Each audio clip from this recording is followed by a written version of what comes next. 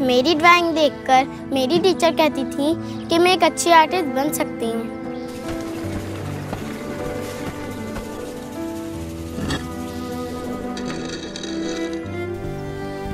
अब मेरे ख्वाबों का क्या होगा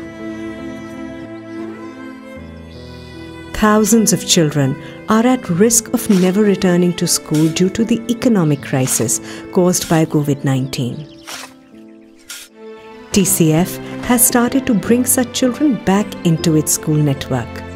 This Ramadan, join us in keeping their dreams alive. For further details, please call us or visit our website